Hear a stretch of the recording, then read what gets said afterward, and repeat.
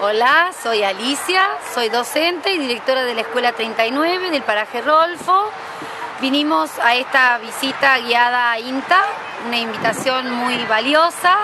Realmente los chicos se interesaron mucho, les gustó y bueno, esperamos implementar todo lo que aprendimos en el proyecto de huerta en la escuela. Muchas gracias.